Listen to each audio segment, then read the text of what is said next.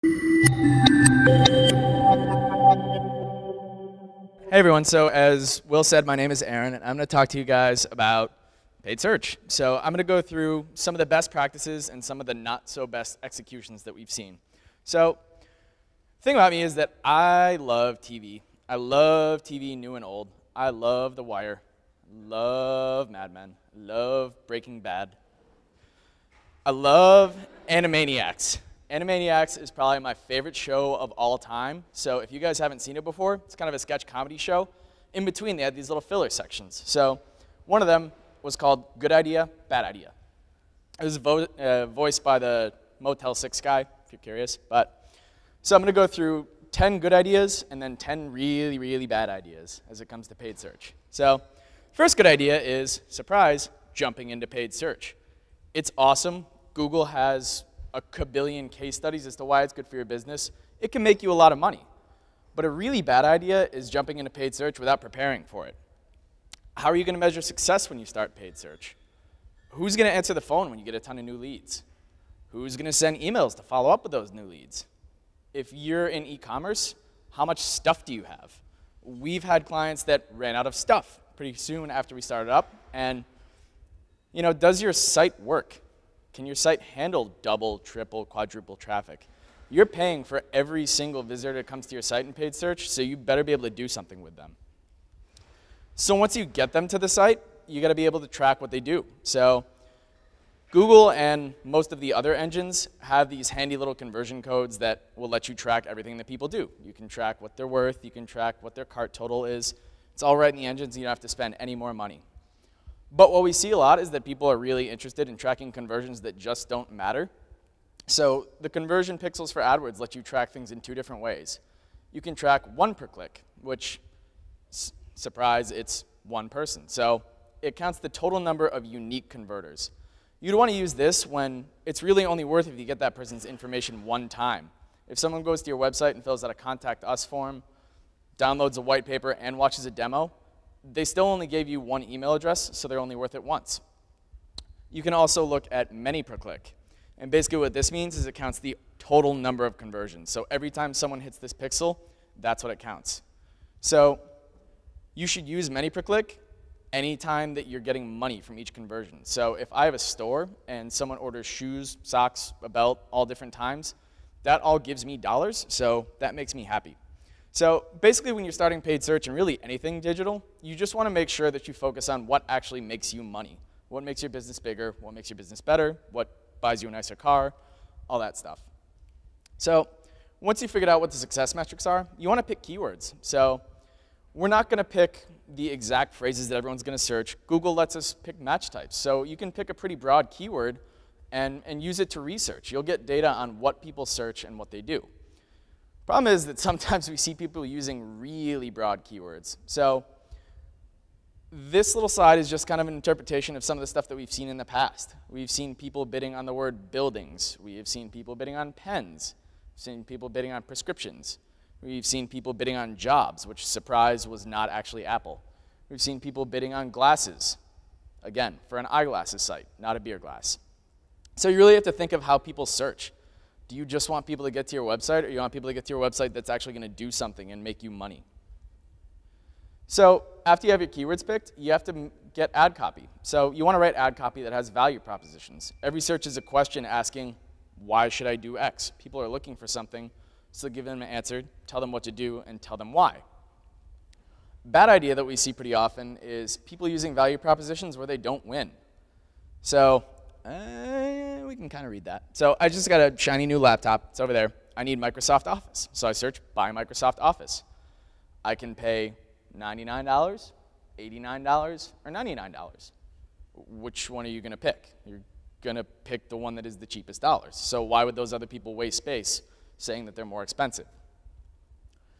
We're always hiring at Seer. We're always looking for top talent. So say we search where can we post a job? We can go for 70 million, 20 million, or 5 million, why would the person who can reach 5 million job seekers say that? They have really, really limited space in the paid search space. You have 70 characters, so don't waste space. You got to make sure that you put your best foot forward and say something that really matters to the user. So we got everything turned on. So I'm sure all of you know that AdWords is auction-based. So you can adjust your bids at all times. You definitely want to test bids. Um, if you guys are curious about it, this is Hal Varian, Google's chief economist, who is way, way smarter than probably any of us. So he has this crazy video where he goes through the incremental value of a click and all that jazz. It's, it's worth watching. Um, it'll make you want to learn more. What we find a lot is that people always just want to be number one. So why is that a bad idea? Because it's really, really, really expensive.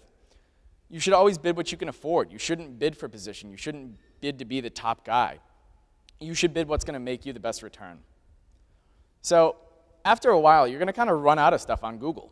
Google, you might max out, you might cap out. You've gotten all the people you can. So you definitely want to test other engines.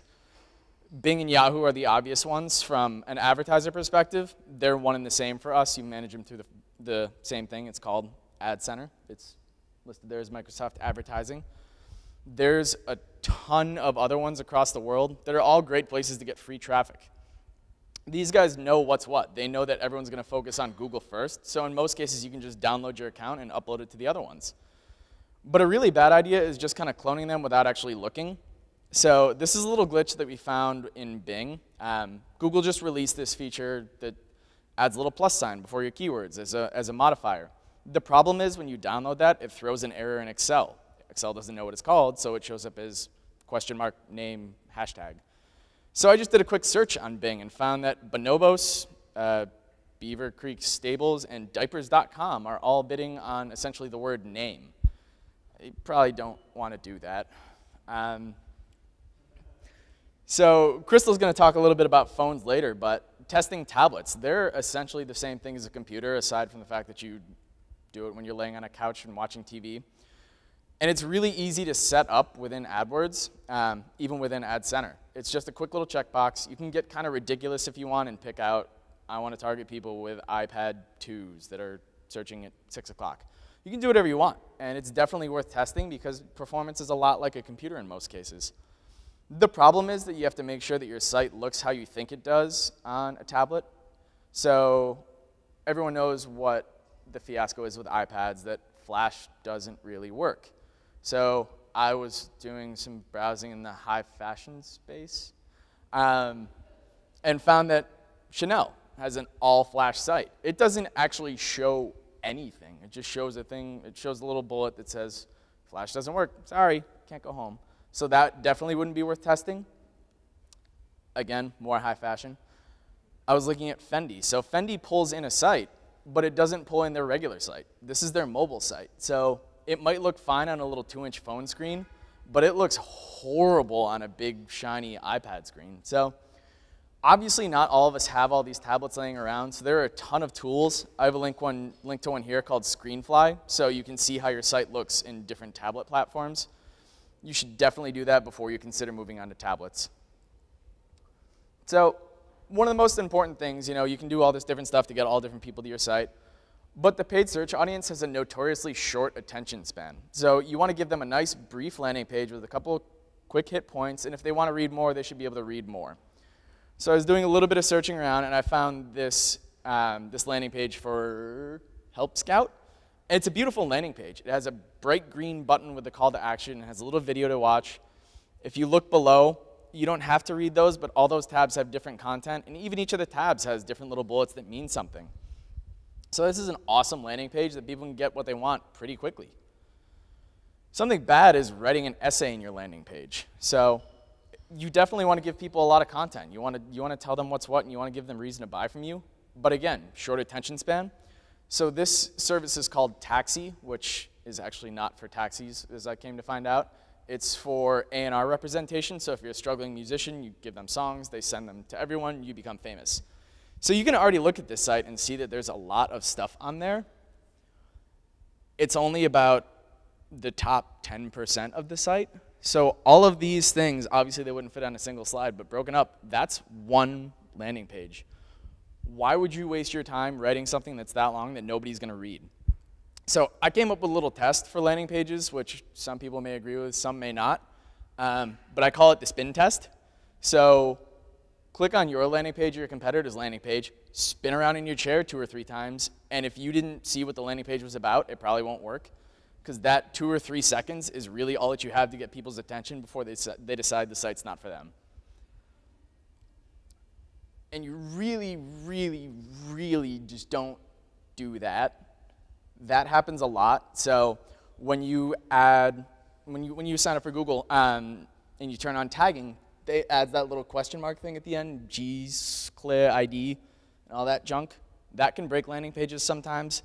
So definitely make sure to test your landing pages at least once or twice to make sure that they exist. After you, you're kind of missing people, you can retarget them. I'm sure you guys have been followed around by, well, I need a raise. Um, you, you get followed around by, by stuff that you look at online. So these ads, they're great. They're a great way to capture conversions that you didn't get otherwise. But I'm sure a lot of you are really, really, really annoyed by them. So the example that I'll use is Ally. So I opened an account a couple of weeks ago just to store my money. Um, I log in couple, every couple of weeks. I log in pretty frequently. I'm pretty good about that stuff, but they kind of keep on, they don't stop. And it's not restricted to just sort of other clients. People in the industry do it too. Google annoys us nonstop. Um, probably makes sense because they don't have to pay for it. But advertise.com, one of those little guys, have the creepiest remarketing ad ever. So you can use things called burn codes, which basically strips people out of the audience. So you want to put a burn code on your current customers, throw it on your login page, throw it on your confirmation page. Get rid of these people so you're not wasting your money on people that aren't going to give you more money. And also they have this tool called impression caps. So you might see the same ad over and over and over again. It gets really, really annoying. You can set the amount of times that people will see an individual ad, and please, please do. So number 10, after you've got all of the all this money from search and all this money from display, you want to test social. It's a great idea for a lot of brands. It, apparently, great idea for Flo, the insurance lady. But it's a really bad idea just testing it because it's there. So as a company, what's a like worth to you? Follower, Google pluses? What are you going to do with these people when you get them? If you don't have a plan for dealing with them afterwards, that's probably not the metric you should be going for. You can obviously target these people going back to your site, but again, depends if it works for you guys. So to wrap it up, the best idea with paid search is test, analyze, retest, reanalyze, retest, yeah so on and so forth. We get data on everything that happens, so why wouldn't you keep using it? The obvious bet idea is not. A lot of times we see paid search being executed in kind of a set it and forget it kind of way. You can look through change history in AdWords and see if people have done stuff. We've seen accounts that haven't been touched in a year. Again, this is all data that we have that can be used at all times. So I hope these tips helped you guys out. Um, obviously, we'll be around, and Crystal will be talking about mobile next. Thank you.